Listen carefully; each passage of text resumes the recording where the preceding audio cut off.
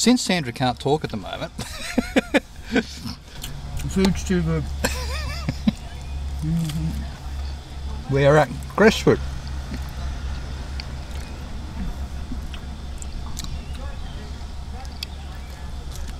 Gray's Hot Foods, yeah, ticks the box.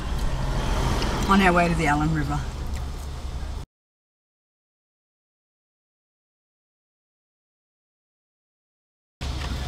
Which is a um,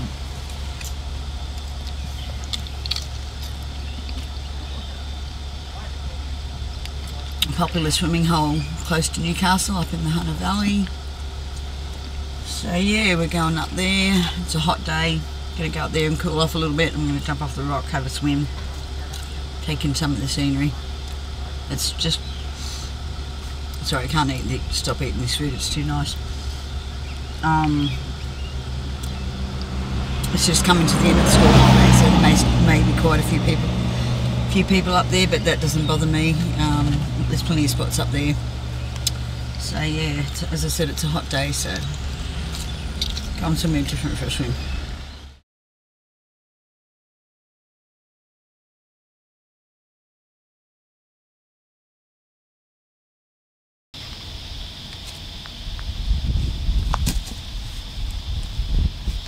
Hey, how's everybody doing? So little big old me is taking a trip up to the Allyn River. Uh, one of my favourite places to go camping. When my kids were little, this was the place that we first took them camping. Um, they were all in the river from probably the age of six weeks old. And for as long as I can remember, this fence has been here with shoes, not as many shoes. Um, it's been about three years, I guess, since I've been up here. Australia Day weekend, probably three years, four years ago. But yeah, um, there's no shortage of shoes here, that's for sure, um, and probably tinea for that matter. Um, anyway, yeah, um, yeah, the, the, amount of shoes has grown considerably, but yeah, it's a bit of an iconic um, place here, Boot Hill, named aptly, and yeah, so we thought we'd just take a moment to stop off and, and share this place with you guys. We're nearly at our destination, which is the Allyn River.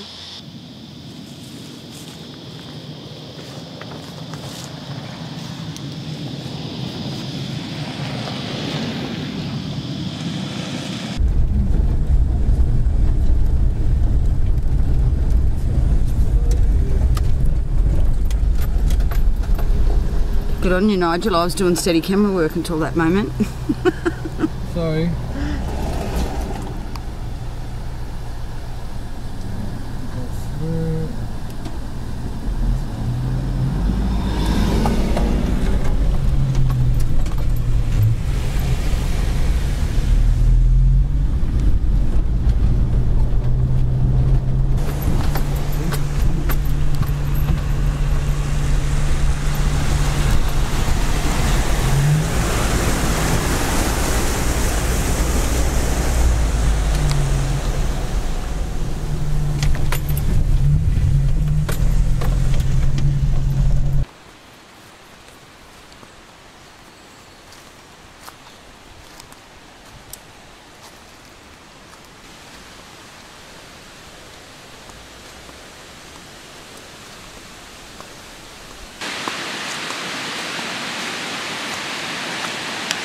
So here we are at the Allyn River. We're way up the other end of the campground at White Rock.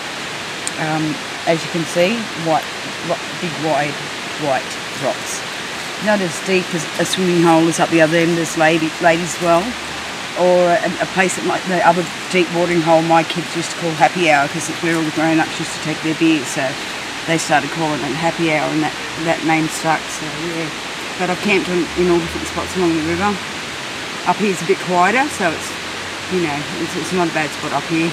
It's a bit chaotic up the other end sometimes, but yeah, just depends on the, the mood in the moment, I guess. But yeah, it's, it's beautiful everywhere up here. I love it.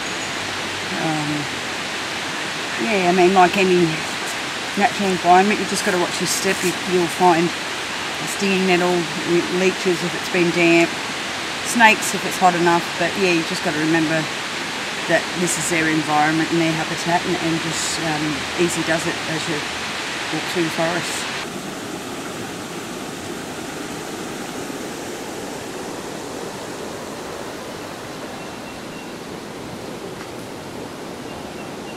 What, what I normally do, sound, sound, I sound like a weirdo, I don't really care. When I go swimming, if I, if I haven't got a bag, you know, if I'm just walking down from camp or something, I, or, you know, if you're clothes or whatever, yes, it's a bra, but I, I loop all my clothes through so that you don't lose anything on the way. I mean, how many times you go to the beach and you see people's belongings everywhere, so I normally do a thread. So I'm not going to lose any items today. So yeah, good old bra, hey? The over-the-shoulder boulder holder comes in handy for many of you.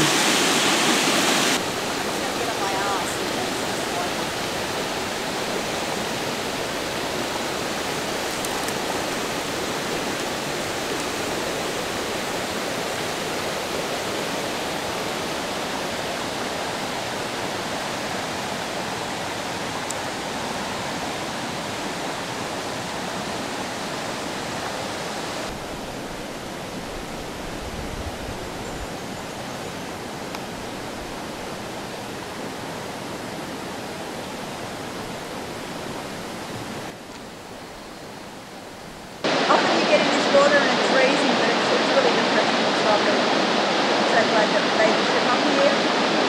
Allyn River, anybody? Up in the Barrington, lots of lots. Up in the valley. Probably about a, an hour and a half, two hour drive from Newcastle. Um, hit some gravel road. Need a four-wheel drive though, but yeah, just take it easy, up, drive along the gravel road. Have a great day.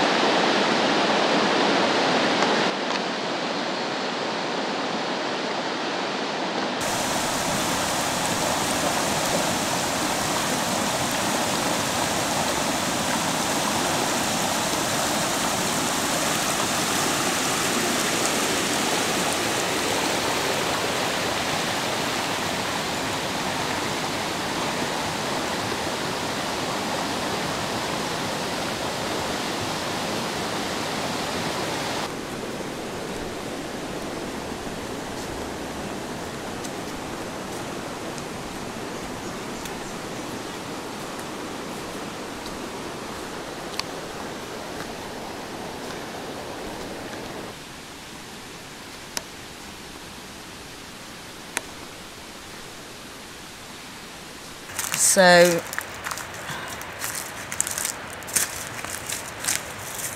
where I'm pointing to with the stick, that's a stinging nettle for those people that don't know what a stinging nettle is. At first you may not be able to tell, but upon a closer look you'll see there's little burrs or, you know, hair, look, hair looking, hair-like looking things at the edge, on the edges of the leaves. That's a stinging nettle plant. They're everywhere um, yeah, like the little burrs will get in your skin and make you itch and red, and you know, some people can have a bad reaction. Depends on your allergy levels, I guess. But yeah, as you can see, they're everywhere. So you know, if you are walking down to a watering watering hole, try and follow a path.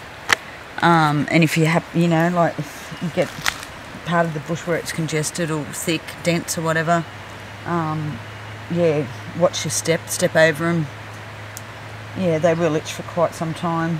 You know, not the worst thing that can happen to you in the bush, but yeah, very irritating and they're everywhere. If you happen to brush against stinging nettle, there is a plant in the bush that Mother Nature has provided to rectify and remedy that and it's, I don't know the proper name for this plant, I can't remember, but it's referred to as elephant's ear. Um, grab this plant, grab the stalk, the leaf's useless, split the stalk open and rub it on the affected area. Um, you, you, still have a little bit of irritation, but it does um, soothe and ease the pain.